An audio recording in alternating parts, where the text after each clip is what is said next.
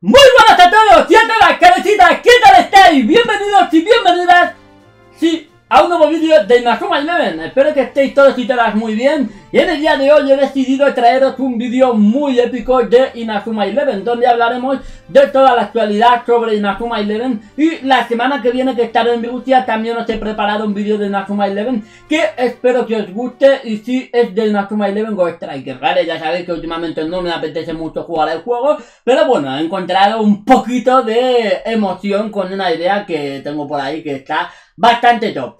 Y en el día de hoy os traigo un nuevo y épico vídeo de Inazuma Eleven sobre todas las noticias que están llegando últimamente.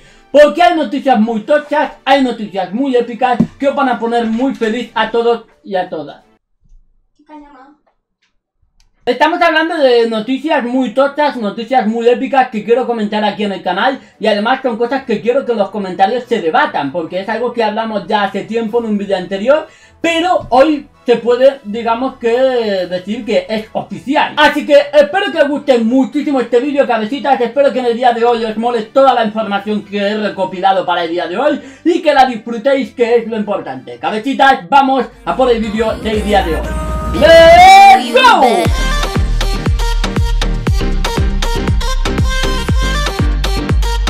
Empezaremos con la noticia más importante, más reciente, más torcha, digamos, para mí, vaya, para mí, y es que posiblemente ya tengamos fecha del juego.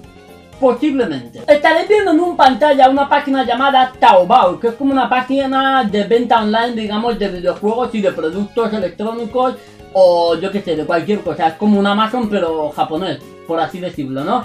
Entonces vemos aquí que lo que está registrado o lo que está en venta son los juegos de Inazuma Eleven, ya sea el de Nintendo Switch, tanto el de PlayStation 4, y está pues a una módico, un módico precio de 398 yen casi 400 yen, que equivale a casi 70 euros en España, o sea, una maldita locura, pero yo creo que es el precio estándar que se hay a día de hoy con los juegos tortos. Entonces, la cuestión cabecitas es que eh, hay algo muy importante, y es que eh, se supone, y según se puede ver, no sé si aquí, o aquí, o aquí, o aquí, o aquí, no lo sé dónde lo pone, o por aquí lo pondrá, imagino, dice que el juego y la fecha marcada para este juego sería septiembre de este año.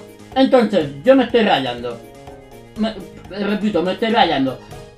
¿Para qué cojones se dice que va a salir a principios de verano? Cuando seguramente lo tengamos en julio, finales de julio o agosto. Ojalá salga antes. Pero principios de verano, yo entiendo. Eh, finales de junio, principios de julio. Yo entiendo eso, vaya, yo es lo que entiendo. Pero bueno, aquí tenemos tanto... Pero bueno, el juego ya eh, se puede precomprar, ¿no? Como que está aquí en preventa. Y bueno, pues aquí lo tenemos, vaya, o sea, mm, se supone que la fecha está marcada, os dejaré el enlace en la descripción si me acuerdo. Y como os digo, según marca esta página, se dice que en septiembre estaría, se dice.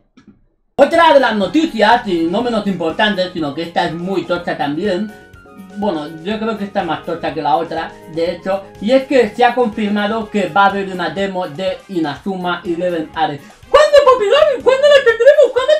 Descargar? Calma, porque la demo no la vamos a poder descargar en ningún sitio ni nada, porque la demo va a estar disponible en un evento de Japón, que si no me equivoco se llama...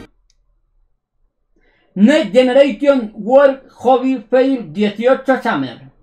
Ahí lo tienen que se va a celebrar el día 23 y 24 de junio. Es uno de los eventos más tochos en Japón, a lo que es a nivel nacional en Japón. Y allí Level 5 ha confirmado que va a haber disponible una demo jugable en un stand que ponga Level 5 sobre Inazuma Eleven o sobre todos los juegos que vayan a presentar después del E3, que eso ya es otro caso adelante. La cuestión cabecita es que al estar confirmando que va a haber una demo, es algo muy increíble porque posiblemente luego esta demo, si gusta mucho, si es una demo muy reclamada, además que aparte de todas las filtraciones que va a haber, o sea, vamos a ser sinceros, el día 23 y 24 de junio vamos a ver los primeros gameplays seguramente de lo que es el, juego de Nazuma Eleven porque la gente grabará y dirá hostia, esto lo voy a subir a YouTube, por lo tanto hay que estar muy atentos todos y todas porque esos días la gente va a subir un montón de vídeos, un montón de cosas y vamos a tener un montón de información que analizar, cosa que me encanta porque quiero hacerlo. Así que ya suponiendo eh, el tema de lo que puede traer esta demo, también quiero que en los comentarios debatáis un poco porque vamos a ver, hablando de una demo, ¿qué puede traer esta demo? Yo sinceramente creo, bajo mi punto de vista, vaya, creo que en esta demo lo que veremos eh, un poco de libertad, ¿vale? Nos, moveremos por un espacio reducido, ya sea, pues, por ejemplo, el barrio de tiendas, ya sea, por ejemplo, el Instituto de Raymond, podremos a lo mejor jugar pachangas con unas squad que llevemos en esta demo, a lo mejor podemos jugar un partido final, o a lo mejor jugaremos un capítulo especial, ¿vale? O a lo mejor jugamos un capítulo del juego. ¿Sabes? Pueden ser muchas cosas. Igual es una demo en la que tú puedes elegir a distintos equipos y juegas un partido y luego tienes la fase de exploración. Pueden ser muchas cosas, ¿vale? Pueden ser muchas cosas y la mayoría de ellas me agrada bastante. Pero estamos hablando de que es una presentación al público del juego del Nazuma Eleven. Entonces tiene que ser algo muy top.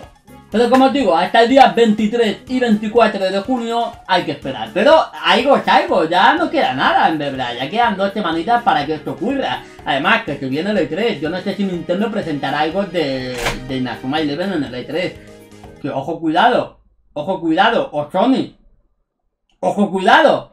La verdad es que este veranito hemos tenido muy poca información sobre el tema del juego, salvo algún tráiler de 15 segundos que se ha enseñado o sea, muy poquilla cosa, ¿vale? O sea...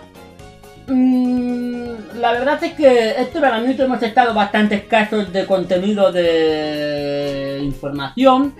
Y... No sé, la verdad es que yo creo que tampoco lo están haciendo mal. Mucha gente se queja sobre eso, pero tener en cuenta que cuanto más enseño es peor. Yo, al menos te voy a poner este caso, no sé si consideráis o no, pero yo Pokémon Sol Luna, un juego que tenía tantas ganas al principio, al final lo cogí sin ganas, porque dije, si es que ya lo he visto todo. Ya me han enseñado todos los iniciales, las evoluciones, tu prima, eh, Mari Carmen que vive en la ruta 42. Se sabía todo, entonces lo que se está haciendo está bastante bien. Nos enseñaron un gameplay, que es lo que queríamos, nos enseñaron lo justo y ahora todo lo que necesitamos ver lo estamos viendo en el anime. Por lo tanto está haciendo todo muy top. Así que nada, se acabó el vídeo. No sé si esperabais algo más. La verdad es que las noticias que hemos sacado son muy tochas. Cortas pero tochas. Y hasta bien. Así que espero que os haya gustado muchísimo este vídeo. Como digo, la semana que viene tendremos un vídeo de Inazuma muy épico. Que espero que os guste. Y nos vemos en el próximo vídeo de información. Poned en los comentarios qué os ha parecido la noticia. Si creéis que va a salir en septiembre. Si creéis que el juego, eh, la demo jugable, cómo creéis que va a ser etcétera. Espero que os haya gustado cabecitas y nos vemos en el próximo vídeo. Hasta la próxima.